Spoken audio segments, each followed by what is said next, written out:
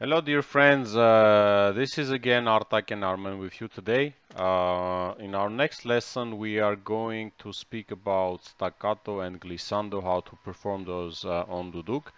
If you are first time here, please check our other videos where we uh, introduce uh, Duduk, speak about scales and so on, and subscribe to our channel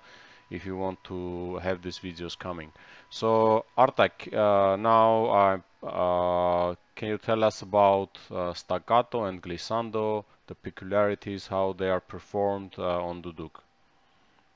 Բարև Արմեն, բարև սիրելի դուդուկասերներ։ Ինչպես Արմենը ասաց, այսօր մի փոքր ստակատոյի եւ վիբրատոյի տեխնիկական տեսակների մասին, թե ինչպես կարող ենք դուդուկով դա անել։ Նախ ստակատոն դուք կարող ենք անել երկու ձև լեզվով եւ կոկորդով, ինչպես դուդուկահարներն են ասում։ Լեզվով ստակատո ստանալը փոքրինչ տարբերվում է այն մեխանիզմից, ինչպես անում են կլարնետում կամ ուրիշ գործիքում։ Լեզուն γամիշի ծայրին մենք չենք կպցնելու, այլ լեզվով կարելի ասել արտաբերելու ենք նվագելուց թե տառը հարվածելով վերանի վերին պատին թթթ Եթե խփեմ այս մասը կստացվի բավական կոպիտ եւ կտրված ձայն։ Հետո դուդուկի փչվելու տեխնիկայում դա հարմար չի ստացվում, այնպես որ հարվածում ենք վերանի վերին պատին։ Կոկորդով ստակատուն կարելի ասել նորից ասեմ թե ինչ տառ ենք ասելու, ասելու ենք ք տառը, նույնպես նվագելուց։ Այս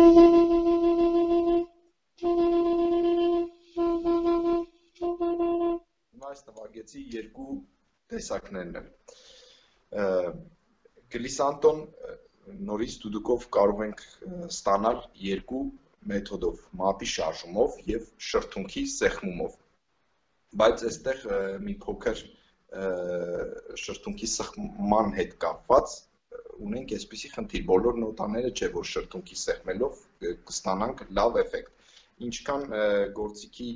վերևի նոտաներն ենք նվագում, ապա դա կլինի շատ հեշտ, բայց ինչքան իջնի ներքև, ներքևի նոտաները, ապա կարելի ասել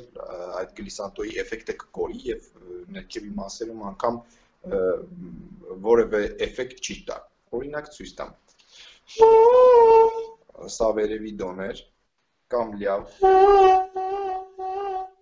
շրթունքի շրթունքով ղամիշի սեղմումով եմ ստանում սա, բայց հիմա ցույց տամ նույն շարժումը, երբ որ նվագենք լյա։ Գրեթե չենք ստանում գլիսանտո։ Ոստի հատկապես ներքևի մասերում օգտագործելու ենք միայն մատի գլիսանտո։ Չնայած կրկին ասեմ, ասածս չի ընդհանրում, որ վերևի նոտաները նվագելուց պետք է օգտագործենք շրթունքը, ներքևում մատը ոչ մատով գլիսանտով անելու ենք գործիքի բոլոր մասերում։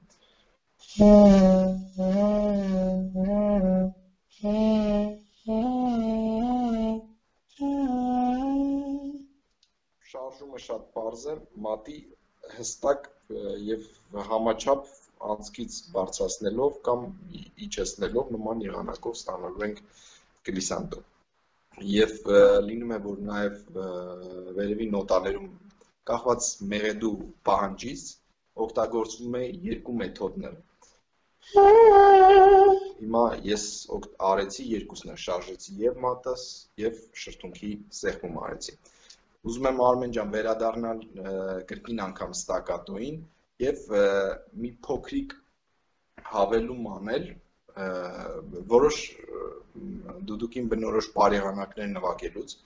դուդուկահարներ օգտագործում են մատի հարված ստակատոյի փոխարեն օրինակ դա իհարկե արդեն ստակատո չի դառնում դա դառնում է խաղիկ կամ մորդենտ ներքևից օրինակ կտրված ձայն է ստացվում, բայց որպես տակատո ըստ բարեղանակի բնույթի օգտագործում են նաև այս տարբերակը։ Փոքրիկ հատված։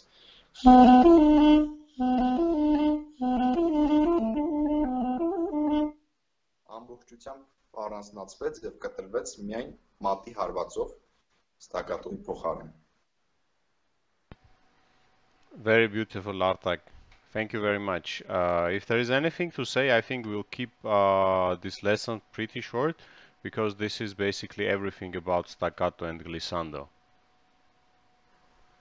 Երևի այսքանը, չէ՞, արտակ ստակատոյի գլիսանդոյի մասին այլևս շատ երկար